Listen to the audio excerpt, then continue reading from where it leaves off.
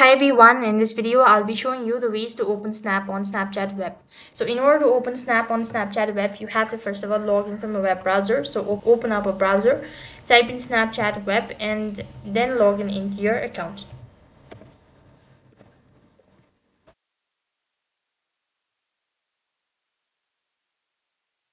So in my case, I happen to already logged in. So this is how it's gonna look like.